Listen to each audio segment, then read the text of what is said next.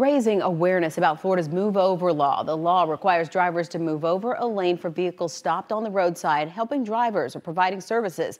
Today, we're hearing from the families who've lost loved ones after drivers failed to move over. News 6's Ezzy is at Florida Highway Patrol headquarters with their powerful message. This was Austin Gaines' heavy wrecker. He was struck and killed nearly two years ago on the 408. His family spreading awareness to drivers to move over when they see flashing lights.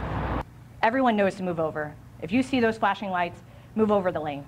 January is Move Over Awareness Month. Florida law requires you to move over a lane for those vehicles that are stopped on the roadside, helping drivers or providing services. 24 year old Austin Gain was loading this heavy wrecker with a dump truck on February 1, 2021, when he was struck and killed on State Road 408 by a driver who did not move over.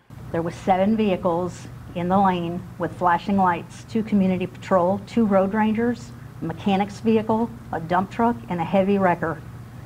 Seven vehicles, and a driver came through and failed to obey the law. Florida Highway Patrol showing us just how often these crashes happen. This video shows a car slamming right into a tow truck that was assisting another driver on the turnpike in Osceola County. Do not risk everyone else's lives that are out there protecting you. Not only is it our road ranger that's out there helping your grandma change her tire, or helping your new driver who's 16, 17 years old that doesn't know how to change their tire. This past November, another tow truck driver, Paul Paez, was killed while towing cars from a car crash. Paul's life was taken on November 10th, 2022 during Hurricane Nicole. The pain that our family has felt is heart shattering. Troopers say these crashes are preventable, and if you can't move over in time, you must slow down to 20 miles per hour under the posted speed limit.